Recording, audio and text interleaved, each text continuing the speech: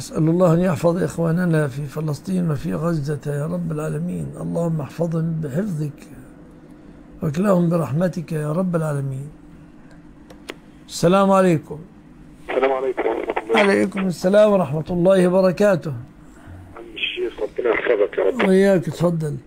اللهم آمين. عندي استفسار صغير عم الشيخ بارك الله فيك. تفضل يا حبيبي. في شخص اشترى مني شقة. وبقي عليه من الشقة دي مبلغ 300000 ميعاد المبلغ كان المفروض يوم 30 تسعة الماضي من أسبوعين. إيه، أعطاني بعده أكتر من ميعاد وما التزمش. فأنا كلمته النهارده وقلت له إن اربط ال 30000 بسعر الريال بتاع اليوم لا هو كان مؤثر ولا إيه نظامه؟ كان مقترض؟ كان مقترض؟ لا هو شاري مني شقة. شاري منك شقة. وأخلف في السداد. وأخلف في بارك الله فيك يا شيخ أيمن.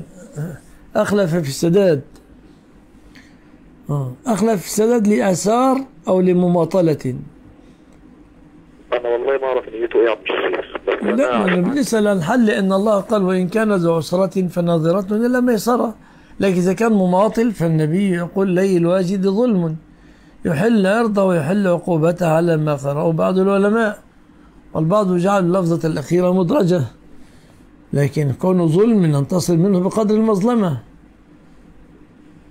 هو عنده حاجة منتظر إن هو يذاعها خلاص أنا قلت لك إجمالي القول إذا كان معسرا نظر إلى ميسرة. كان مماطل جازت عقوبته عقوبة تعزيرية بارك الله فيك.